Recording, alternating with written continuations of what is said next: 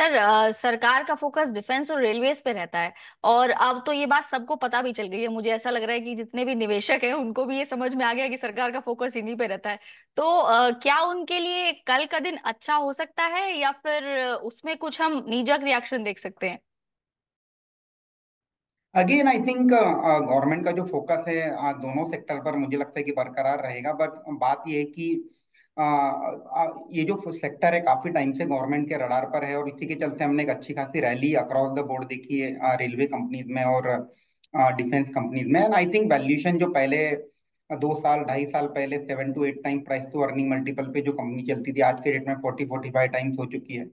तो वैल्यूशन के लिहाज से डेफिनेटली कहीं ना कहीं एक डिस्कम्फर्ट है वो नज़र आता है।